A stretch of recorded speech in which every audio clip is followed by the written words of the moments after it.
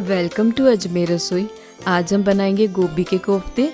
और अगर आप हमारे चैनल पर नए हैं तो हमारे चैनल को सब्सक्राइब करना ना भूलें। तो चलिए बनाना शुरू करते हैं। सबसे पहले एक बाउल में हम एक कप बेसन डालेंगे।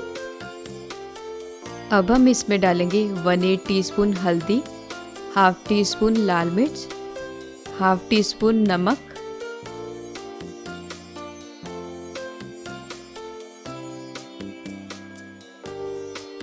अब हम इसमें थोड़ा थोड़ा पानी ऐड करके इसका बैटर तैयार करेंगे।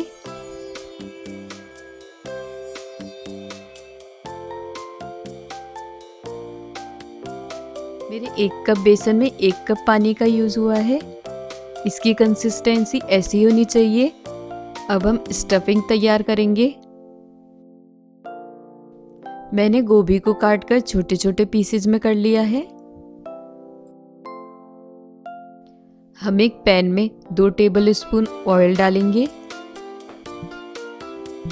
हम इसमें वन टीस्पून सौंफ डालकर इसे हल्का ब्राउन होने देंगे।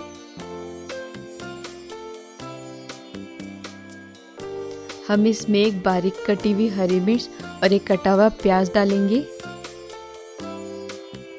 हम इसे हल्का सा फ्राई कर लेंगे।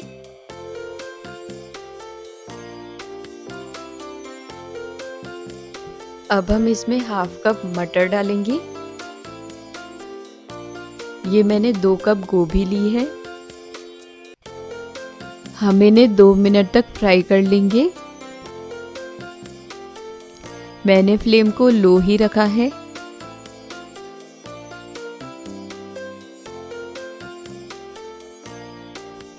अब हम इसमें डालेंगे वन टीस्पून लाल मिर्च पाउडर।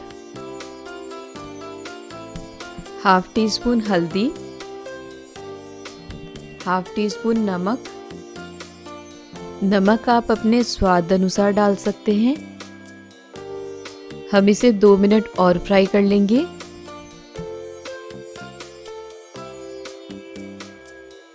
मैं इसमें दो बॉइल्ड आलू डालूँगी, जिसे मैंने मैश कर लिया है। और इसमें अच्छे से मिक्स कर लूँगी।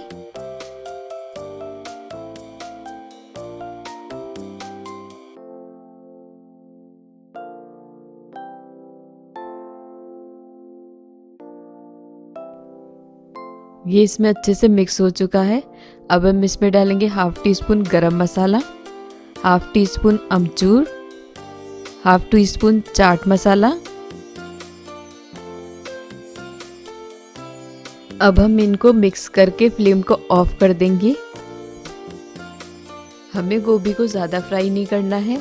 जब हम कोफ्ते फ्राई करेंगे तो ये अंदर से पक जाएगी। मैं इसमें थोड़ा सा हरा धनिया डाल दूँगी।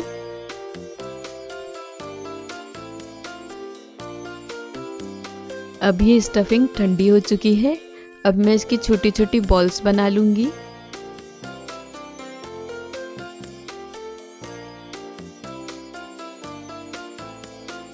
मैंने सारी बॉल्स तैयार कर ली है। हम बॉल्स को तैयार बैटर में डिप करेंगे। मैंने ऑयल को तेज़ गरम कर लिया है।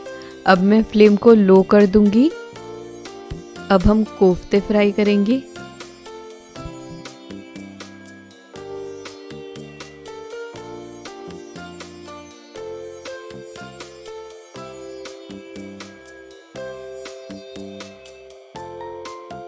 हम इन्हें पलट लेंगे। आप फ्लेम को कम ज़्यादा कर सकते हैं।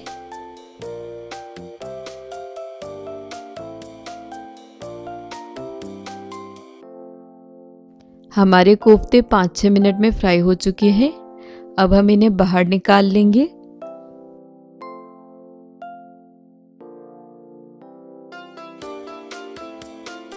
देखिए कोफ्ते कितने अच्छे लग रहे हैं।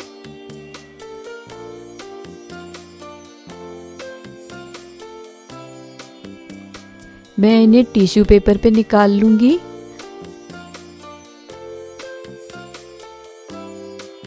मैंने सारे कोफ्ते बना लिए हैं और ये अब सर्व करने के लिए तैयार है।